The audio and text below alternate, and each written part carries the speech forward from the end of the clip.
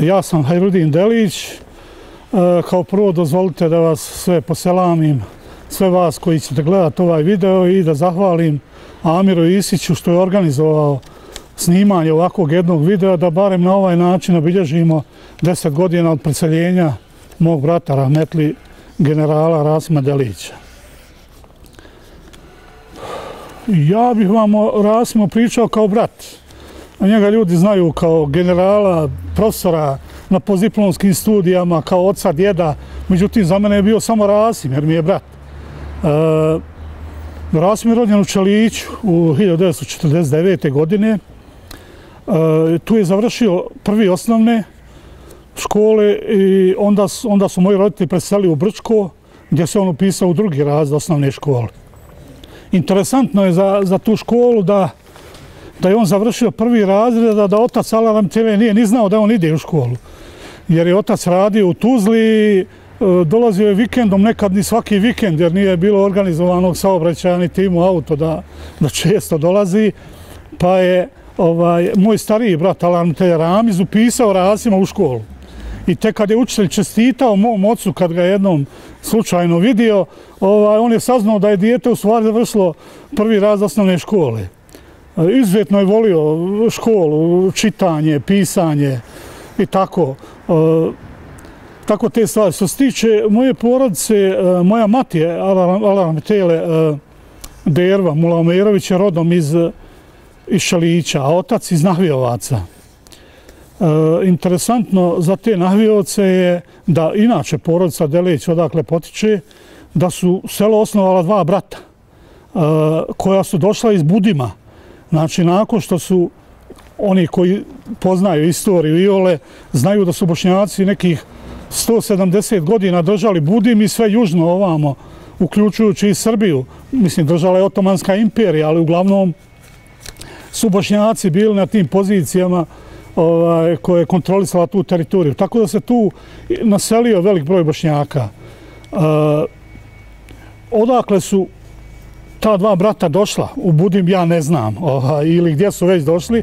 Uglavnom, e, nakon što je Mađarska ponovo zauzila tu teritoriju, puno bošnjaka se iselilo sa tih prostora i tad će nastati neki od ovih dole gradova u Posavni, kao što je gradačac Brčko, neće nastati, ali će ovaj, dobiti priliv stanovništva, ovaj, postaće prave kasabe. Ovaj, e, tako su ta dva brata, brata došla u Nahvijovce i tu je nastalo to selo ovaj, koji koje se zove Nahvijovci, a uglavnom u tom selu su gotovo sve, svi smo rodbina jedni drugima, ovaj, malo to ne, sve su delići. E, iz samog prezimena se vidi da, jer Delić prezime potiče od e, roda vojske, znači Delije su konjica bila u Otomanskoj imperiji, njihovoj vojsi, e, kao i neka druga zanimanja vojna što su bila, ne znam, Azapagić i Azapi, šta ja znam, uglavnom, e, znači, e, očigledno su oni bili vojnici, Ovaj, I inače, Bosna kakva je, ovaj, svi smo imali neke pretke koji su ratovali u svim ratovima. E, tako evo, da je moj djed Ramo Delić Alarantele, on je ratovao u prvom svjetskom ratu. Otac Alarantele u drugom, a eto, mati Alarantele je zapamtila znači i drugi i ovaj, donekle je preselila 94. u Visokom. Takva je sudbina Bosne i evo nas, Bošnjaka. Nakon što je što je došao u, u Brčko, e, tu je završio osnovnu školu, e, zatim se upisao u gimnaziju. E, gimnaziju je završio kao najbolji učenik te gimnazije, te generacije gimnazije. I ovaj, znam da su često kod nas dolazili učenici, e, njegove prijatelji, što iz drugih razreda, da ih podučava i matematici u e, nekim drugim predmetima. Uglavnom školom mu je išla, što se kod nas kaže, ovaj, nije nikad imao problema sa, sa školom, da pače. Ovaj, obzirom, kažem, hoću da vam kažem neke detalje koje ljudi ne znaju, čak ni njegova porodica, ali znamo mi koji smo odrasli s njim, na primjer, u gimnaziji je, mi smo imali baštu u Brčkom, ovaj, i bila je kroz sredinu jedna staza i on je hodao gore dole ovaj, kad je htio da nauči nešto što je teško, što je... I znam da je filozofiju u gimnaziji naučio na pamet, kompletnu knjigu. Kako, ne znam, ovaj, valjda imao takvo pamćenje, da, da su ga iskušavali, okrenu strancu tu i tu, kažu pasu taj, taj, on, znači, bez i jedne greške E, kaže šta piše na, u tom pasu ili na toj stranici. I tako kroz čitav život je ovaj, puno čitao, volio da, da piše, da kasnije će napisati neke knjige. E, nakon te gimnazije ovaj, e, Rasime krenuo na akademiju. Međutim, interesantno je to da e, Rasim i, i nije baš želio da bude vojnik, niti je planirao da ide u vojsku. On je želio da bude profesor književnosti, ovaj, jer je puno čitao, puno volio da čita. A, ili ljekar. I obzirom da su mu u Brčkom obećali stipendiju, on je otišao i položio i prijemne iz medicine. Međutim, koji danas, evo što ima, ovaj, uglavnom danas se sve zasniva na tome, štela, tako da je tu stipendiju dobio neko drugi, sigurno lošiji džak, jer je Rasim bio najbolji učenik generacije u gimnaziji te godine. Ovo, tako da se Rasim odlučio na vojsku, jer nije imao drugog izbora. U vojsi je imao i, i hranu, i stan, i knjige, i tako da je ošao na akademiju. Prvo je bio na akademiji u Beogradu, dvije godine, zatim godinu u Zadru i zadnju godinu u Sarajevu. E, dok je, dok je boravio u Beogradu, znam da je pisao za neki list, da li je pod pseudonimom ili je pod svojim imenom i znači dobio je honorar za te stvari, uvijek je imao smisla dara za pisanje. Ovaj, znam kad je otišao eh, da radi, kada je već dobio čin, da je ostala jedna njegova sveska ovako debela u kojoj je bilo more pjesama, ovaj, baš interesantnih. Sjećam se između ostalog da je bio e, obrada uh, Troje, Trojanskog rata. Oko, znam da se spominje i Pariz, Pariz i svi ovi ovaj, tamo koji su učestvovali u ratu. I sve je to bilo kroz stih. Zašto je to radio, ne znam, ali uglavnom ovaj, eto, volio je da piše. Uh, znači, boraveći na, na ta tri mjesta na akademiji, ovaj, također je akademiju završio kao e, drugi u rangu. E, koliko se ja sjećam, sad hoću pogriješiti neki procenat, imao je prosjek e, 9,73. Znači, negdje nije dobio desetku. Uglavnom, bio je jedan ovaj, samo ispred njega, oficir, tako da sa takvim uspjehom mogu i da bira gdje, gdje da ide na prvu službu. I normalno on se odlučio na Sarajevo jer je za nju godinu bio u Sarajevu.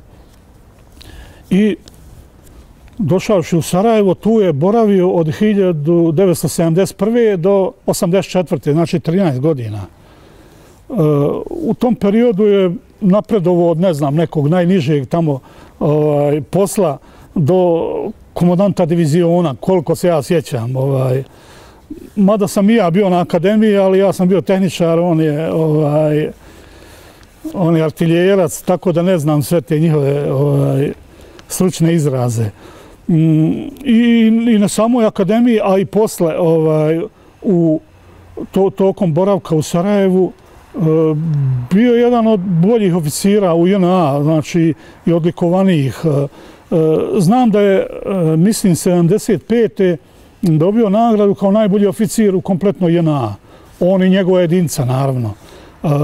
Umeđu vremenu je završio E, visoka vojna politička škola, ja mislim da se tako zove, nisam siguran, i e, osim nakon toga je i komandno štabnu akademiju završio, znači u stvari e, sve škole koje, koje je moguće bilo završiti u tadašnjoj JNA i već sa svega 30 godina imao ovaj, mogućnost da napreduje do čina pukovnika. 84. olimpijada bila ova zimska u Sarajevu i da je i tu imao učešće bio jedan od ljudi koji su bili u organizaciji, jer je i vojska naravno uzela učešće u organizaciji e, same olimpijade. E, nakon, e, nakon toga odlazi u Doboj, e, gdje preuzima dužnost komadanta artiljerijskog puka. I u Doboju ostaje do ne znam, negdje do, pred, do pred rat, ja mislim 90. nisam siguran. Uglavnom onda dolazi u komandu, ponovo se vraća u Sarajevo, dolazi u komandu, uh, ja mislim da je to bio četvrti korpus, nisam siguran, tada uh, kojem je pripadalo Sarajevo. Uh, I tu boravi do, do početka agresije na Bosnu i Hercegovinu. Sa, sa početkom agresije njegov sin ostao u Doboju, Eh, a ja sam ostao u Brčkom jer sam bio u tri logora, tako da između svi, pored svih ostalih stvari i to mu je bila neka briga velika.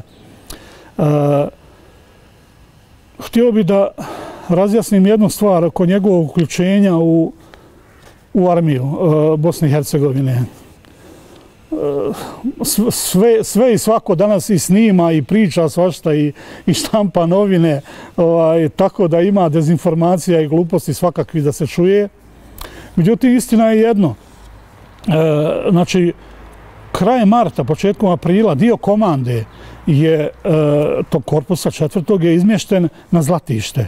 I između ostalim oficirima bio je i Rasim na tom Zlatištu. E, u, u tom periodu do, do 12. kad će on, odnosno 13. ujutru, kad će napustiti uh, JNA, uh, on to nije ni znao tad ko su ti ljudi. Uh, uh njega su kontaktirali uh, Švrakić, ovaj, ja mislim Emin, jel tako on se zove, i Alija Deli Mustafić. Eh, mada on nije ni znao ko je to u stvari. To je početak Patriotske lige u stvari. Da, da. On nije ni znao ko je, sjedili su u nekom restoranu Osmice i ovaj, oni su pričali s njim kakva su mu vjerenja, vjerovatno vrbovali ga u tom smislu. On je rekao nema, nema problema da, da on svakako želi da napusti jer je vidio već normalno, to je krenulo puno ranije od Slovenije, Hrvatske i vidilo se čemu sve to vodi. Uh, I znači da mu ostave taj prostor nekoliko dana dok on ovaj, riješi svoj status JNA. On je bio legalista, ono da kažemo, e, nije nije želio da pobjegne. Otišao je svom pretpostavljeno, rekao ja ne mogu da ostanem više u ovo JNA, ja napuštam JNA. Srećom nije imao problema. E, e nekako, ja mislim 11. je zvao, e, tad je formiran, da li 11. Jeste, ja mislim 11. je formiran štab e, teritorijalne odbrane sa Hasanom Efendićem, ja mislim, na čelu. I e, zvao ga je Raši Zorlak, Zorlaka i ja poznajem dobro, jer su se poznavali. Na telefon dok je bio još tamo ovaj, na Zlatištu, zvao ga je rekao da, da mora doći jer oni prave taj štab, treba im to komadno kadra da obavezno dođe. Ovaj. I u 13. ujutru Rasim je pozdravio se sa svojim pretpostavljenima i krenuo prema Sarajevu. A sa njim je krenuo i još jedan potpukovnik, e, uh, Ferhatović, ja mislim da se prezivo, e, pitao mogu li ja da idem s tobom jer je Rasim dobio vozilo. I oni su krenuli prema Sarajevu, međutim došli su do punkta na Zlatištu, E, to je bio punkt MUPA, ovaj, Bosne i Hercegovine. I normalno da su i zaustavili i pitali gdje ćete jer su bili uniforma. Rasim je bio uniforma kao i ovaj Ferhatović. E, I oni su rekli da napuštaju JNA, da žele da se pridruže armiji, što su im ljudi častitali, čak se izgrali s njima. E, međutim, rekli su da je veliki problem jer ima puno tih punktova ovaj, e, tim pravcem. Umeđu vremenu je stigao ja mislim da li je Ekrem ili kako sam zvao, znam da, znam da je Bezrob, ovaj, se prezivo, uh, on je valjda obilazio te punktove i došao je sa svojim vozilom. I kad je vidio njih dvojicu, rekao je, idite vi, hajte vi za mnom jer ima stotinu punktova preko vraca ovaj, dok, dok vi stignete uh, što, što neprijateljski, što od mupa. Ovaj. I onda je on preko širokače njih vozi, išao ispred njih i stigli su do uh, Bistrika. Rasim je tamo imao kancelariju jer je to svega prošlo nekoliko dana od kako su ošli na zlatište, znači desetak dana. Otišao je tamo, javio se tako je pretpostavljeno, skinuo uniformu, obukao civilnu odjeću, uzeo pištolj, one lične stvari i došao u štab teritorijalne odbrane. Nakon toga e, oformljen je taj štab, e, koliko znam, e, Divjak je Rasma postavio za svog e, zamjenika. E, znam da je radio u operativi, znači operativni neki poslovi. Oni su, oni još, ja ne znam koliko je oficira bilo u tom e, operativnom štabu, oni su krenuli da formiranje dokumenta. Sad koja sve dokumenta tamo trebaju, ne znam, ali dokumenta za uformljavanja štaba teritorijalne odbrane i uopšte teritorijalne odbrane. Međutim, već 15 je ili 15. ili 16. uglavnom par dana posle eh, Rasim je dobio naređenje od uh, Efendića da ode do Visokog. Eh, uh, Bratstvo Novi Travnik je znači krajem rata imalo napravljeno uh, naoružanja. Znači, tu je bilo haubica 122, bilo je minobacača, ne znam kojeg još oruđa. Uglavnom, e, oni su, e, njemu je zadatak bio da ode to da preuzme i da formira na, na, na prostoru Kiseljak visoko Breza, da se formira artiljerijski divizion. Međutim, kad je odšao tamo, e, HVO je zakomplikovao sve, zauzeo je kasarnu u Kiseljaku, jer je dio, dio naoružanja trebao i njima da ide. Ovaj, oni su to totalno zakomplikovali zablokirali iz svima poznatih razloga, ovaj, jer su oni imali svoj cilj, mi smo imali svoj cilj, mi smo želi samo da se odbranimo. I Rasim se vraća u, eh, u Sarajevo, podnosi izvještaj i, i već ponovo, već sutradan, eh, dobija naređenje da ode u Visokom, da, da to sve organizuje. Eh, nakon toga, znači odlazeći u Visoko, obzirom da mu je porodica već bila u Visokom, jer je njegova supruga Suada iz Visokog, već, osim Admira koji je ostao u Doboju, još uvijek je Admir u Doboju i izaće negdje polovinom maja ovaj, iz Doboja prebace na slobodnu teritoriju. I on odlazi u Visoko i tu će nakon toga počinju, e, dok, dok je on boravio tamo i radio na formiranju tog artiljerijskog divizona, već počinju dejstva u Sarajevu. I on će dugo ostati u, u Visokom, a da neće uopšte otići u Sarajevo. Znam koliko je prošlo vremena dok je ponovo otišao u Sarajevo, jer u Sarajevo se praktično više nije moglo, osim preko, preko piste. Sjećam se da je sad u kojem periodu e, prelazio preko piste ovaj, ja mislim, dva, tri puta. E, ja sam u visoko stigao, e, razmijenjen sam na Brčanskoj slobodnoj teritoriji e, iz, iz logora. U stvari, tad sam bio u stanu, a prije toga sam bio u logoru Luka. E, razmijenjen sam i dolazim u, u visoko gdje pr prvo, obzirom da sam ja bio na Tehničkoj vojnoj akademiji, prvo smo me poslali u Kovinu koja je radila sredstvo za namjenske proizvodnje i sa jednim profesorom iz Sarajeva, Nalbantićem, mi smo organizovali kontrolu, znači vojnu kontrolu E, pregleda tih sredstava, znači kvaliteta tih sredstava. E, međutim, nakon nekog perioda prelazim u e, glavni logički centar kao referent tehničke službe, jer sam i jer mi je to u stvari bio posao, municija i naoružanje. U stvari ja sam bio smjer naoružanje u, na akademiji, ali sam se više bavio municijom i u penziju ću otići kao neko koji vodi ured municije u komandi logistike u Blažuju.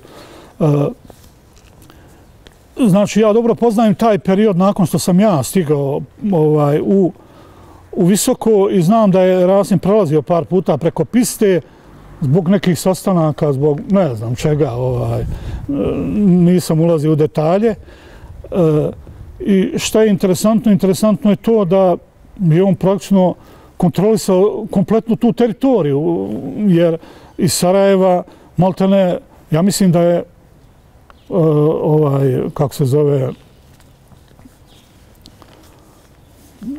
načelnik ovaj, štaba što je bio On je, on je veoma rijetko izlazi, ovaj, mislim da je jednom izašao u Kiseljak za sad taj period. Ovaj, tako da je kompletnu teritoriju eh, praktično kontrolisao Rasim. Znači nije se to svelo samo na komandanta artiljerijskog diviziona. E, možda. Eh, boraveći u, u, u visokom, eh, e, Rasim je upoznao Hasana Čengića, koji je bio zadužen za nabavku sredstava i šta sve drugo, ja ne znam. Uglavnom za nabavku sredstava, eh, materijalno-tehničkih sredstava za vojsku. E, njegova supruga je također iz Visokog Hasanova, tako da je Hasan upoznao Rasima tu jer je bio najviši oficir, oficir koji je kontrolisao praktično tu teritoriju. E, e, kroz razgovor normalno uvidio da se radi o školovanom, veoma obrazovanom čovjeku i on je e, natuknuo Izetbegoviću da postoji jedan takav oficir u, ovaj, u Visokom, e, jer Izetbegović nije normalno, nije znao ovaj, taj oficirski kadar. E, sjećam se da je, obzirom da je moja mati, alarm tele bila tad u Visokom, šta je, šta je bilo presudno, ovaj, o, Hasan i ne znam ko još s njim bio, došli su da posjete Rasima, Alantele, i ovaj, vidjeli su da je moja mati pokrivena šamijom, da zna arapski, da baš u, to, u tom periodu, jer ona je stalno učila iz Kurana. Ovaj, je, je učila i, ovaj, i njima je to bilo presudno, mada u suštini trebalo bi da bude ovaj, njegovo vojno obrazovanje, njegovo znanje, patriotizam. Međutim, njima je to bilo presudno da je to da je Rasim iz dobre porodice. Mada on nije bio iz, iz te branše, bio je oficir normalno, bio u Savjezu komunista, jer svi su bili, i ja sam bio, još u srednjoj školi su ga, ovaj, prije rata, e, su ga primili u Savjezu komunista. I, znači, preko Hasana Čengića, on upoznaje Izetbegovića. Uh, e, Izetbegović, ja mislim, ne znam kada je tačno prvi put izašao, ali kad je izašao, Rasimu je organizovao uh, taj boravak tu i posjetiti više gradova i tek ovaj, ja mislim negdje u junu, juni ili juli 93. Desit će se Rasimovo postavljenje za komadant. On kaže da zove ga Izetbegović u, u Sarajevo i vjerovatno će biti, on je već znao, eh, ja mislim da je njega nazvao Šiber i, i natuknuo mu eh, u smislu, rekao mu je, eh, ali ja te zove, ponudit će ti nešto, nemoj da odbiješ. Samo mu je tako rekao. Rasim je pretpostavio o čemu se radi, jer je, tad je meni rekao da je Izetbegović to njemu već nudio. Mislim, već su razgovarali po, o, o tome. Ovaj, govorimo o svojim problemima i, i, i Rasim će, znači, e, sutradan već otići u Sarajevo i biti postavljen na mjesto komandanta armije Republike Bosne i Hercegovine e, u suštini do tada nije ni postojala ta funkcija, postoje načelnik, ovaj, načelnik štaba, nije postojala funkcija komandanta armije Republike Bosne i Hercegovine. Naravno, to je izazvalo puno e, uh, pometnije među oficirskim kadrom, neki su bili nezadovoljni. Uglavnom, sve je to prevaziđeno, e, Imao je dobre suradnike koji su mu puno pomogli. Normalno, čovjek ne može ništa sam, ali naravno za sve ovo što je urađeno e, najzaslužniji su borci. Jer pa Rasim se nakon toga često viđao sa Izetbegovićem, jer praktično, e, osim što je bio komadant, Rasim je bio i član predsjedništva po, po automatizmu, jer sam komadant e, glavnog štaba je u stvari e, što vojna, što politička dužnost. Ovaj, jer evo imamo primjere ovaj, u svijetu da, da, da se takve stvari dešavaju, da se postavi neko civilno lice čak na takve pozicije. Ovaj. E, I oni su često viđali. E, šta, koliko ja znam, ja sam samo jednom vidio i upoznao Rahmetli, našeg predsjednika prvog Izetbegovića, koliko mi je Rasim pričao, on je dosta skroman čovjek bio tih.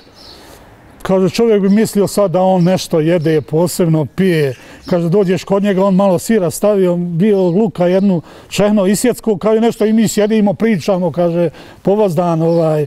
U suštini čovjek je bio skroman, također je volio puno da čita, tako da se tu našli i da piše također. Ovaj. Uglavnom, e, imali su respekta jedan prema drugom. Ovaj, I mislim da su radili dobrog posla, ovaj, evo, to se vidi i po, po našoj Bosni i Hercegovini. Uspjeli smo se odbranimo u trenutku kad, evo, ko što svi znamo, ovaj, imali smo e, napade od strane srpskog agresora, e, od HVO-a, E, zatim između ostalog čak i ovaj, dole u krajini od, e, kako se zove, Babe i njegovih ovaj, Fikrata Abdića i njegovih, znači na tri fronta. I pored svega toga imali smo obstrukcije i u našoj samoj vojsi od dijela nezadovoljnih oficira koji su e, čitavo vrijeme, pa i nakon ovaj, nakon rata, pa i nakon što je Rasim Alemete preselio, govorili gluposti, snimali nekakva petoparična videa, ovaj, klipove, opravdavajući sebe, izdižući sebe. Normalno, Rasim nije nikad ovaj, obraćao pažnju na to, nije nikad uzvraćao, nije, ovaj, nije želio ni da komentariše čak to, jer to, to su smiješne stvari. E, svi koji znaju, koji, koji ga poznaju, koji ga dobro poznaju, znaju kako je bio čovjek. Pa evo da kažemo, na primjer, da Rasim nikad nije pio, nije pio čak ni kafu, e, a da ne kažemo nešto, nije pušio, Znači jedino u životu što ga je zanimalo, to su knjige, da piše, e, western filmovi, neki kriminalni ovako filmovi, sport. E, volio je košarku, nije bio nekakav košarkaš baš, ali je volio odigrati basket, igrali smo često i basket zajedno. Bio je grub dosta, znači ruke ti budu plave ovaj, nakon basketa, ali u suštini e, volio je sport. Znam da je na akademiji plivao za akademiju oni koji, ja, ja to nisam nikad probao, ali uh, oni koji su to radili kažu da je teško. Plivao je za akademiju na takmičenju, plivalo se u bazenu u uniformi i sa puškom i bez puške. Ja sad mogu misliti kako je to, ovaj, to je veoma teška disciplina, znači da je bio dobar sportista. E, obzirom da, da smo porijeklom iz Brčkog, svi veoma rano naučimo plivat, ovaj, tako da sam ja Savu preplivao sa 10 godina, sa koliko je rasim, ja ne znam, ali to je bilo in, e, e, inicijacija, znači kad preplivaš Savu, onda znaš plivat. Pa što se tiče sami dešavanja u ratu, teško, teško je bilo svima. E, je najteže padalo e, nakon što je počeo sukob sa HVO-om. Jer praktično morali smo se borimo na dva fronta, onda smo bili osjećeni od, od, od, od svih logističkih puteva. Ovaj, dovijali smo se, obzirom sam bio u Glocu, znam kako je to teško bilo dobaviti municiju na urožanje, pa se to kroz humanitarnu pomoć na, na, na, na, na stvarno teške načine uspjevalo nešto municije dovući. A pravo da vam kažem, nešto smo i kupovali, što, što od Četnika, što od Ustaša. Mislim, to, to je činjenica. Znam da se i dešavalo, e, mislim da je bio slučaj u Mostaru, da su tamo ovaj, pripadnici armije, eh, ja mislim, jel Hujka koji je bio tamo u Mostaru, napravio dogovor sa Srbima, da im lovu i oni ispale dva višeci, dva punje višecini bacača na, na Hrvate. Ovaj. I onda kaže, evo i od nas jedan, kao da počasti, ovaj, ispali od sebe jedan. Znači, to je bilo normalno, eh, malo te ne u toku rata. I Srbi su čak znali ovaj, i volili da, imamo bar nešto municije, znaš. I, i, i, i kaže, ovaj, jednom prilikom su čak dali, poklonili nekakav sanduk municije, kaže, kad mi zapucamo, zapucajte i vi, da nas ne tjeraju da idemo naprijed. Znači, nikom se u ovom ratu baš nije ginulo. Ovaj, normalno, u početku samog rata Srbi su išli ono ko s pjesmom, dok je bilo na goloruk narod, ne narod. Međutim, posle je bilo, kad su uspostavili linije, izgubi brdo, dobije brdo, E, ginu ljudi. I mislim da je to najteže rasim padalo. Ginulo je ljudi puno jer nismo imali sredstava. E, nakon potpisivanja Vašingtonskog sporazuma na kojim smo natjerali, naravno, ovaj, to je došlo do zavrtanja ruku e, što Tuđmanu, što HVO i oni su počeli da puštaju, da prolaze sredstva. U početku su uzimali 30% sredstava HVO uzimao, A nakon toga nam je prodavao ta ista sredstva. ja znam da se metak plaćao, me marku, ovaj, da eh, u ovisnosti o kalibru, na primjer, metak 100 mm za, na primjer, tank 55, ovaj, je bio 1000 maraka. Znači, koliki je kalibar ako je za 84 tank 125 mm, on je 1250 maraka. Znači, toliko je HV od nas naplaćivo. Ovaj, o tome postoje dokumenti, znači, ja sam radio na tim poslovima, znam dokument gdje ima dva kamiona smo kupili, toliko ima sredstava, toliko smo platili. Ovaj, ali pored toga što smo od njih kupovali, znači, počela su pristiti za sredstva, pristiglo je e, značajan broj sredstava i naravno to se odmah odrazilo i na stanje na ratištu. Mi smo veoma brzo zaustavili napredovanje e, Srba i znači, prešli u oslobađanje teritorije. E, Rasim bio u Visokom i tu večer sam sjedio kod njega, bio negdje oko pola deset, deset na večer. Naši su u krajini napredovali i e, ono svakim danom, svakim satom. I uh, njega zove Rahmetli Izetbe, e, predsjednik Izetbegović i kaže došli su mi Amerikanci i rekli mi da moramo stati. Ovaj, da moraš zaustaviti. Ali ja sam rekao da, da, da tebe nema, da ne mogu da te dobijem i šta uspiješ, imaš tri dana, šta uspijete, uspijete. Ovaj, međutim, već u četiri ujutru, znači to je bilo u deset navići, u četiri ujutru uh, vozila Umprofora su opkolila Rasimovu u zgradu.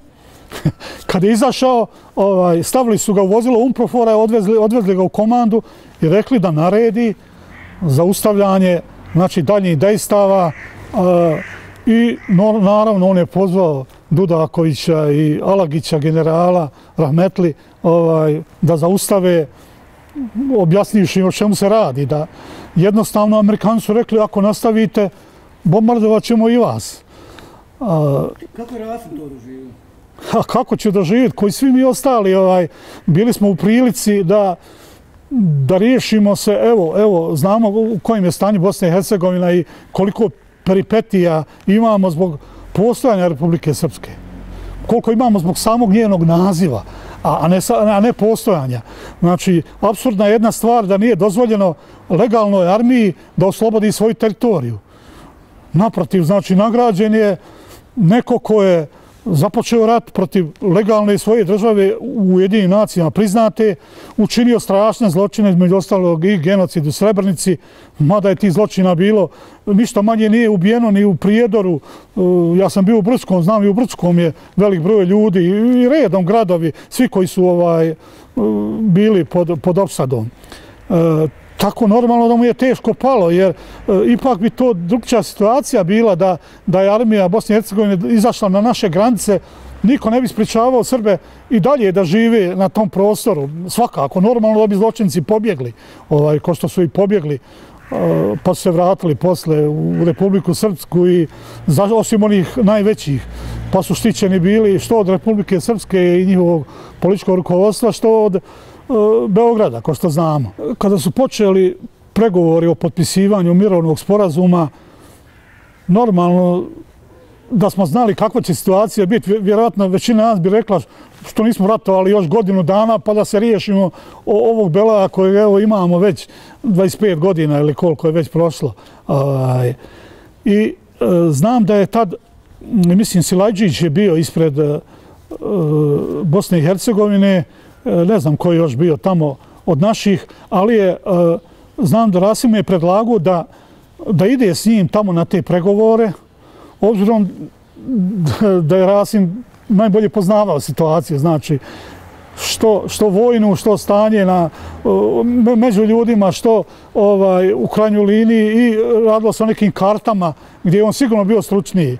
I znam da je E, više puta, je, e, to može Silajđić potvrditi, zvao Rasima u toku pregovora kada je došlo do toga da, da zapadnu u, u nekakve probleme, neke stvari koje bi trebalo regulisati ovaj, e,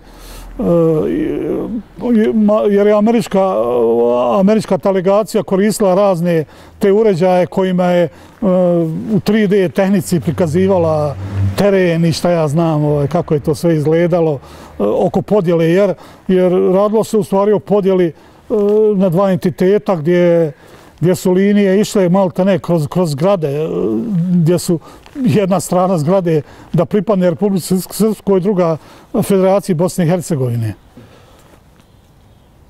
Pa u suštini Rasim nije očekivao uh, da će ići u Hag, jer je znao da niti je putio nekako naređenje, niti je čak usmano izdao neku komandu koja bi na neki način ugrozila e, civile ili neko stanovništvo ili čak uh, čak i neke jedinice, neke ljude koji su uhapšeni ili, ili su zarobljeni ili šta ti ja znam. Međutim, ovaj, jednostavno znao je kako je radio taj posao.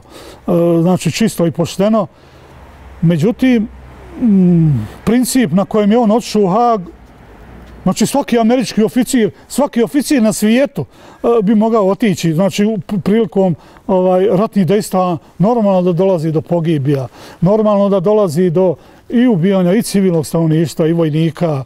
Međutim, e, najvažnije je to bilo što naša armija nije institucionalno e, imala, imala takav zadatak, znači nije imala takve instrukcije za razliku od ovih drugih da, da uništava, da razara. m, oni koji ne znaju, e, ja znam podatak od prilike da je e, nekih 800 džamija i mežida ovaj, e, na, na prostoru Republike Srpske uništeno u prvoj godini agresije. A evo ako uzmemo da pogledamo našu teritoriju gdje nijedna crkva ovaj, ni katolička, ni pravoslavna nije ni oštećena, osim ako je njihova granata pala.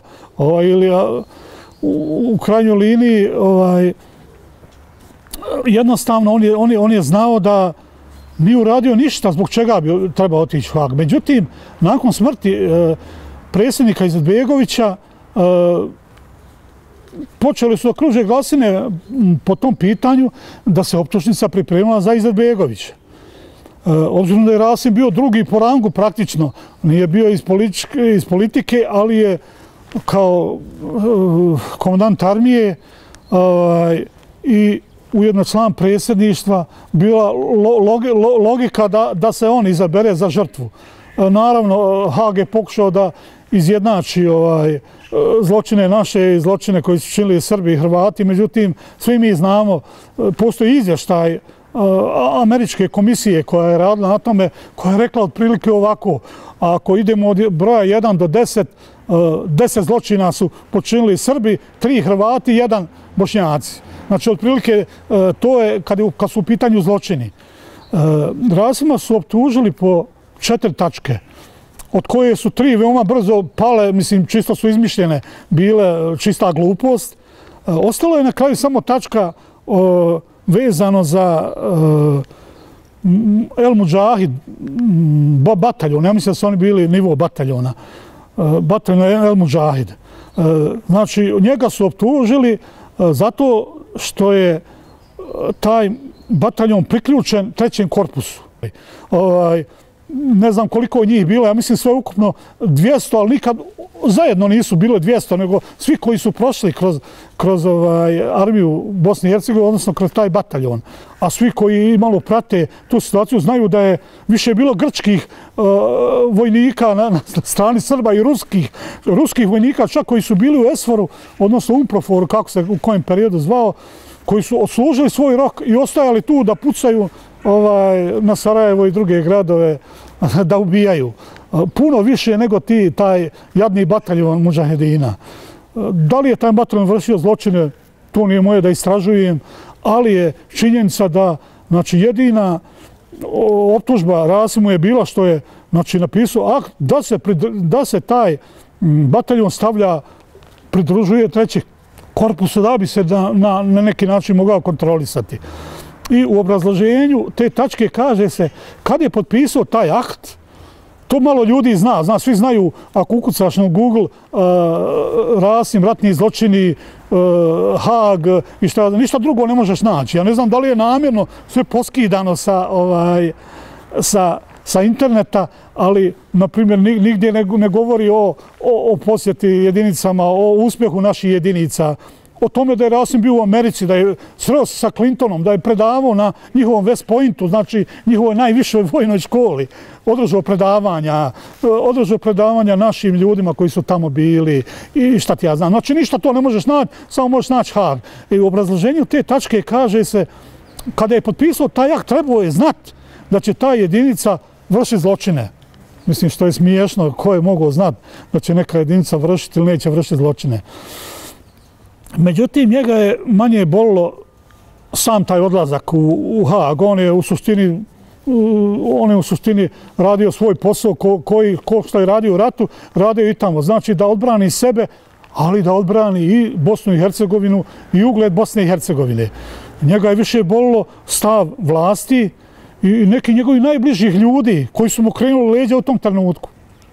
E, naravno, Rasim odlazi u Haag, e, tačke jedna za drugom padaju, znači na kraju ostaje samo ova tačka vezana za, za taj e, bataljon odred ili šta je već, El Mujahid. E, obzirom da nisu mogli ništa dokazati, onda su na kraju samo e, taj period koji je proveo u Hagu, e, osudili su ga dvije i pol godine da bi pokrili taj period, moraju ostati još mjesec ili dva i vratiti se kući. Međutim, normalno to je ostala e, jedna mrlja na, na, na, na njegovoj karijeri, na njegovom životu i ne samo to, umeđu vremenu dobio je i šećer, ovaj, što će ga kasnije kostati života. E, naravno, kažem, najviše ga je bolilo e, ta nebriga vlasti i ta ovaj, i, i odnos neki nekih njegovih najbližih ljudi koje maltene na leđima vukao.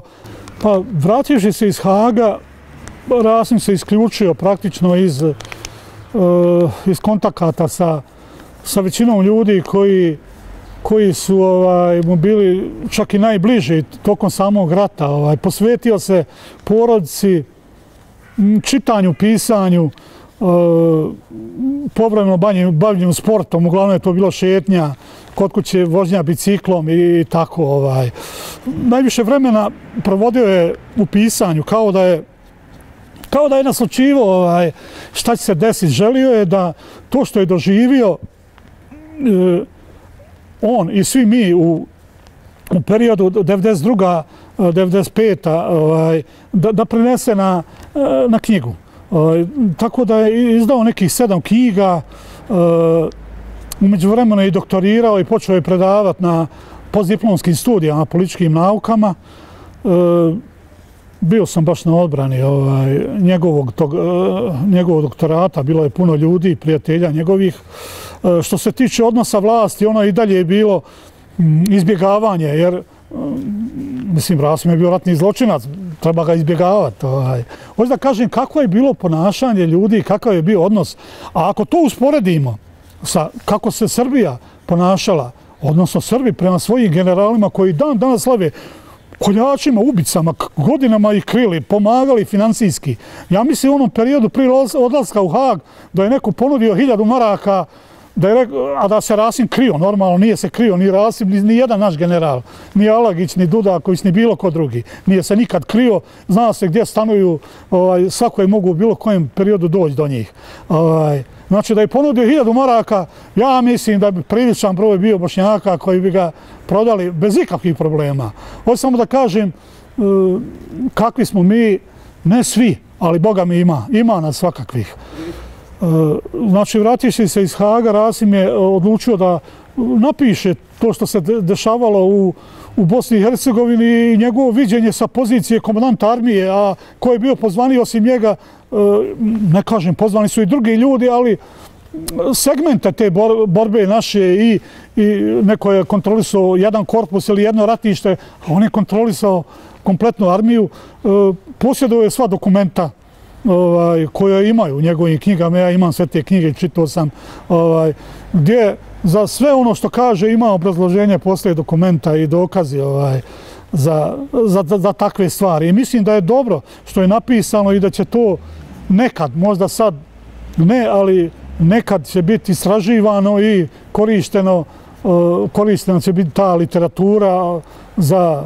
za doktorske ili koje kakve disertacije i, i proučavanje. Ovaj.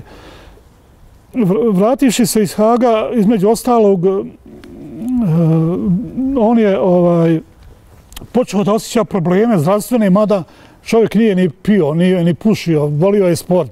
Međutim, ovaj, ima to i genetike, jer je moj otac Alan Tile također uh, u nekom tom periodu otprilike, možda i kasnije, dobio šećer. Ovaj, što kažem, ovaj, i on je uh, nikad nije bio na inzulinima, nego je pio tablete, samo znam, često je dolazio kod mene normalno, ovaj, što djeci na rođen dan, što ja kod njega viđali smo se. Znam da je pio samo tablete i ovako e, nekakve na, narodne lijekove trave, nije želio na inzuline, mada mislim da je to greška, jer mislim da ga je to i koštalo donekle, uh, jer on je prvi napad, kad je imao, to je bilo, uh, ja mislim, dva dana prije smrti. Ovaj, prvi napad je imao e, i došao je sebi. E,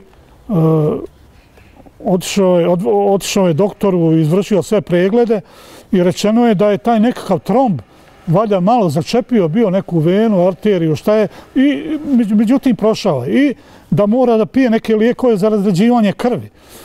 I, i to, to jutro, 16. ujutru, Eh, to je bilo oko, ne znam, oko 4 sata, ovako otprilike, eh, je prvi put kad je, kad je dobio taj napad, on je došao sebi i njegova supruga Suada ga je molila da ode, da odu na hitnu, da odu u ljekaru. On je rekao, nije to ništa, ovaj, koji većina muškaraca bio je tvrdoglav, nije volio ljekare, ne voli mi ni ja, ovaj, ali eto, nek su nam zdravi i živi, ovaj, trebaju nam.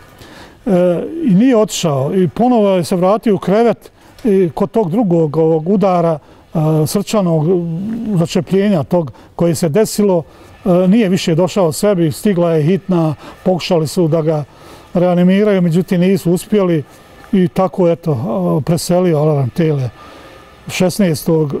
prije tačno 10 godina, znači sutra će biti tačno 10 godina od njegovog preseljenja na onaj što kažu bolji svijet. Pa kao što sam rekao ovaj prethodno,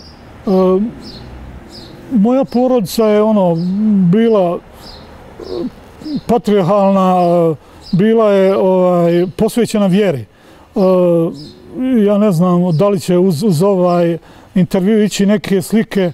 Znam da je moj otac Alan Tire nosio beretkicu.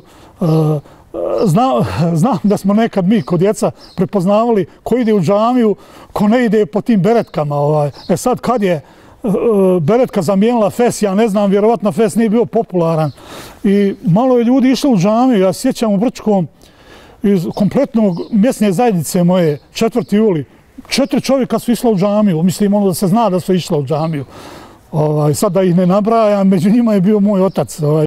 A, mati je bila vjerski puno obrazovanija od oca. Znala je arapski, e, nikad nije išla u klasičnu školu. Normalno, ona iz Čelića bila, e, Čelić je bio poznat po tim učenim ljudima, ovaj, tako da je ona, ne znam koliko je tih hatmi dala, kako se to kaže, znači proučila ovaj, Kur'an pred, pred ovaj, hođom. Uglavnom, znam da je u našoj mjesnoj zajednici vrijedila za neko ko je najučevniji, kako je se starije ljudi govorili, po tom pitanju.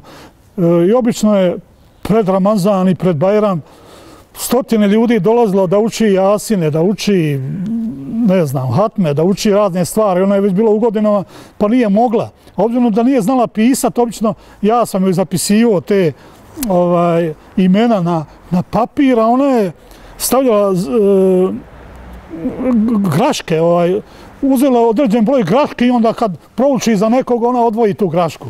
A, samim tim svi smo mi ovaj, imali nekakvo ovaj, obrazovanje, kad, ako ćemo to nazvati obrazovanje vjersko, znači e, nakon, što, nakon preseljenja e, organizovana je dženaza na kojoj je okupljen velik broj ljudi.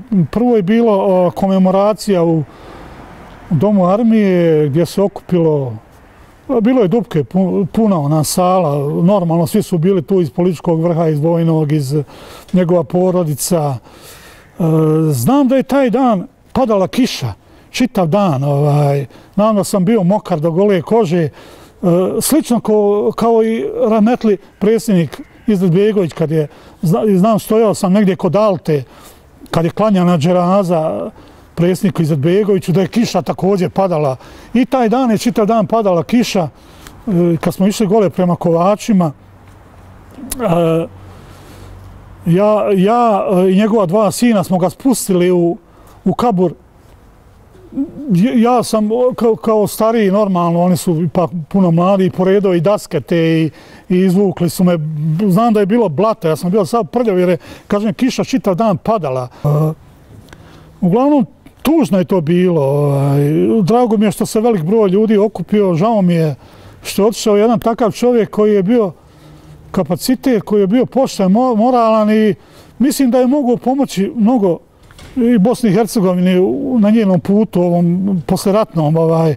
I mislim da je trebao poslušati Izetbegovića i ući politiku, jer ispostavilo se posle, znači, ako nisi u policiji, nisi nigdje. Ovaj, brzo te zaboravljeni, ko što su svi zaboravljeni.